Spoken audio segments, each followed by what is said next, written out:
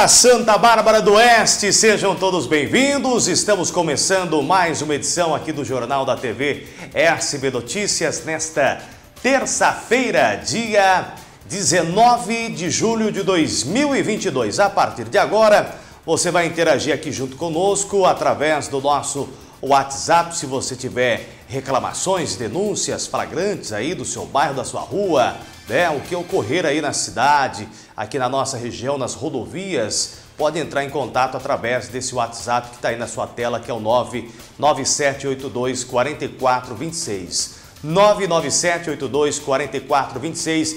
Esse é o Zap do Povo. E você vai se inscrevendo também aqui no canal da TV SB Notícias, tá bom?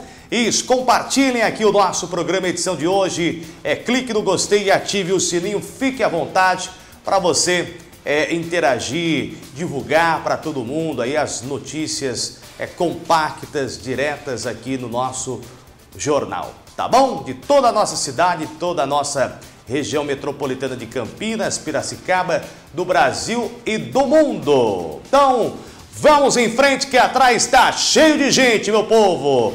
É terça-feira, é terça-feira brava que fala ou não? Não, né? Então tá suave, né? Suave na nave, né? Como diz aí a juventude. Vamos lá para o bairro São Marino. Põe imagens do bairro São Marino, reclamação de moradores desde o ano passado. Nós tivemos essa denúncia, essa denúncia que chegou aqui para a gente, hein? É? Essa denúncia lamentável. A imagem está meio retor... Aí, agora tá melhorou, ó. tá vendo só? Olha aí, essa situação, né? Olha, é, é desse terreno onde é, várias, várias pessoas denunciaram aqui para o nosso programa. Rua Antenor Rosinelli, cruzamento com a Avenida Pastor Nascimento, é isso? Do Santo. Tem sido alvo de reclamações desde o ano passado, surgimento de bichos peçonhentos, contraído, né, dengue, pessoas aí que a rua inteira ali, para praticamente da, da, da, da Pastor é, Nascimento da Rosinelli, é, todo mundo com dengue, né? E aí, no dia 23 de maio, nós tivemos a informação que teve que ser chamada a Polícia Militar para conter aí a, a, a chegada né, da, da, da, do maquinário, né? Por quê? Porque o dono né, praticamente não limpava, deixava lá as garrafas né, a céu aberto, né, sem cuidado nenhum. Os moradores é, disseram que era um descaso por parte do proprietário e a gente foi lá, cobrou a prefeitura, cobrou aí o cidadão e por meio judicial é, agora o terreno está limpo, né? Esse terreno aí envolvendo limpeza ali no, no bairro San Marino, aqui em Santa Bárbara do Oeste, né? É lamentável, né, minha gente? As pessoas não cuidam e aí acabam nessa situação. É, tem a, o, o, agora, ó, essas são imagens de antes, né? Tem imagens de atual, terreno limpo. Tem aí, Laércio? Imagens de hoje, que essas imagens são imagens é, é, quando o terreno estava sujo, né? Com as garrafas. Agora tem que mostrar também o lado B, né? Que foi feito o serviço. Tá aí ou não?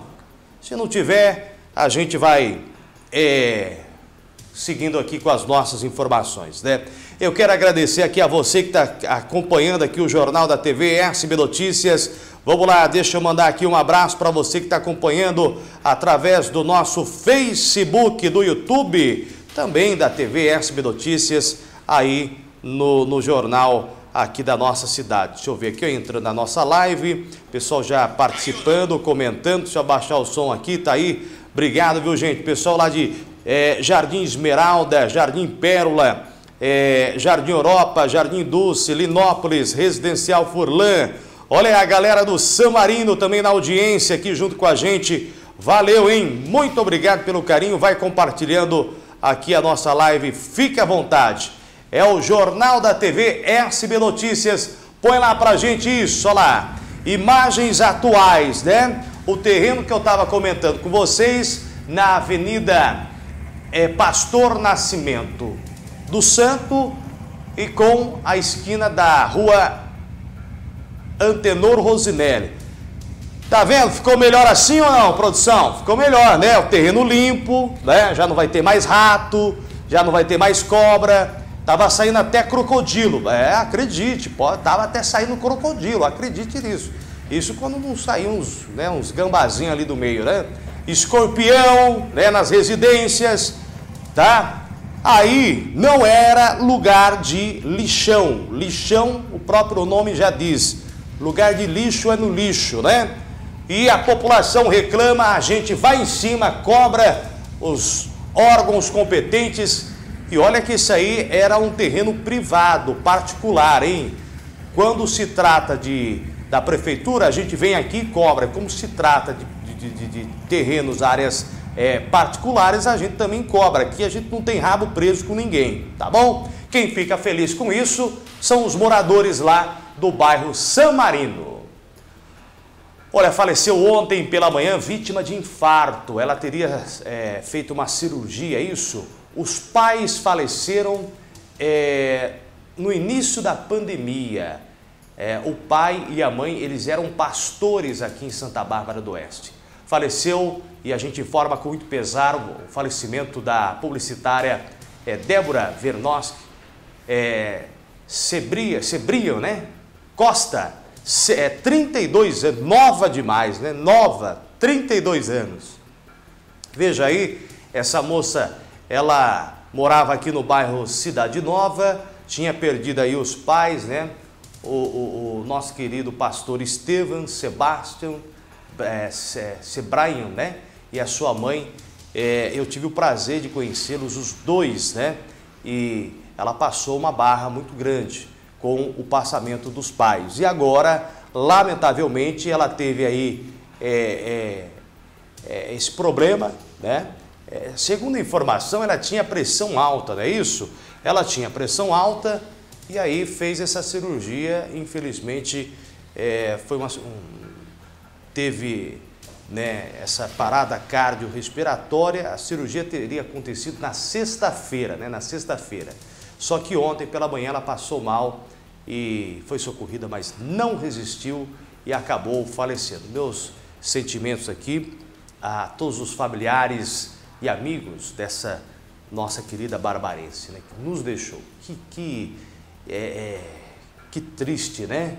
A moça tinha perdido aí os pais, o pai e a mãe, e agora ela é, é que foi vítima aí. Não foi vítima de Covid, né? na verdade ela, ela sofreu esse infarto foi sepultada ontem lá no cemitério dos Lírios, Zona Leste, aqui de Santa Bárbara do Oeste.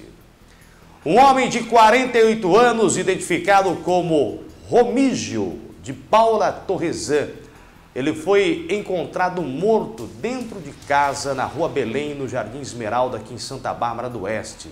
O fato chamou a atenção das autoridades policiais que registrou a morte como morte suspeita, nesse caso como morte suspeita. De acordo com informações apuradas, ele teria tido aí uma, uma desavença, né, uma discussão com um familiar, acabou indo na casa do amigo, só que daí o amigo, ao chamá-lo para é, comer algo, né, ele estava dormindo no sofá, ele não mais é, respondeu. E aí é, foi chamado o resgate, mas quando viu ele já estava é, sem vida, sem vida. Né? Agora a polícia vai investigar essa, essa, esse fato aqui em Santa Bárbara do Oeste. Tá aí, caso esse registrado, como eu disse, aqui no plantão policial de Santa Bárbara do Oeste. Um atropelamento, né? uma moto e uma vaca na rodovia Geraldo de Barros, SP-304, deixou duas pessoas feridas na manhã de ontem. Começamos a semana aí com esse acidente é, gravíssimo. A Polícia Militar Rodoviária lá de São Pedro atendeu a ocorrência. Veja aí, né? A moto ficou completamente destruída, a moto tinha dois ocupantes, os dois tiveram ferimentos leves, foram levados aí para a unidade de saúde de águas de São Pedro. Já a vaca, a vaca morreu. O animal foi removido para o acostamento e a pista que tinha sido parcialmente interditada. Né? Depois ela foi liberada para tráfego. É, a vaca morreu e os dois nasceram de novo, né? É, pode voltar para mim. A vaca morreu e os dois nasceram de novo, porque veja bem, um acidente desse, onde é, nesta rodovia, eu conheço muito bem né, a rodovia Geraldo de Barros, é, de repente você está lá, né? Com uma moto, ainda com dois ocupantes, né? E você atropela uma, uma, uma vaca, né? É, viu? É um acidente que esses dois aí nasceram de novo, é o que eu disse, né? E a vaca não resistiu aos ferimentos e acabou é, morrendo. É, as rodovias da, da nossa região, muito cuidado, né? Você que pega aí elas, né, as rodovias, muito cuidado, né? Ande devagar. Eu, eu tenho certeza, né? Essa vaca, ela morreu com a pancada da moto e os dois acabaram saindo ileso desse acidente. Bom, obrigado pelo carinho, obrigado aí pela sua audiência. Compartilhem aqui o nosso Jornal da TV SB Notícias, Santa Bárbara do Oeste, toda a nossa região. E amanhã a gente volta, se Deus quiser. Daqui a pouco, às 11 horas, vou lá no estúdio A do nosso programa Espaço Aberto pela Rádio Brasil 81,9 AM 690. Amanhã a gente volta, se Deus quiser. Tchau! Mexeu com você? Mexeu comigo!